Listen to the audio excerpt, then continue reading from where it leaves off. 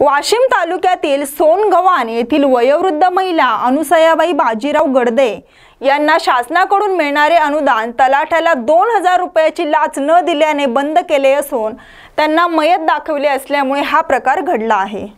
तरी तलाठ्यावर शिस्तभंगाची कारवाई करण्यात यावी व अनुदान पुन्हा सुरू करण्यात यावे या मागणीसाठी वयोवृद्ध महिला अन्नत्याग आंदोलनाला जिल्हाधिकारी कार्यालयासमोर बसल्या असून आजचा दुसरा दिवस आहे. चालला होता पांडेबुवा मी आणलं बा साहेब म्हणलं मी पगार तरी म्हणलं दारातून चालले पण म्हणलं सु बंद झाली.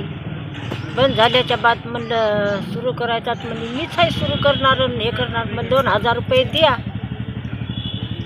मी आणलं मी कुठून देऊ? म्हणून हे अशी लहान ऑनलाईन घातलं मला. दाखवली माहीत दाखवली. पगार बंद केली. जाणून बुजून. जाणून बुजून इथं माहीत केली म्हणजे त्याला कारवाई झाली पाहिजे. आता कारवाई झाला पाहिजे गुन्हा दाखल झाला पाहिजे. माझी मागणी. नागेश अवचार जुमो न्यूज वाशिम.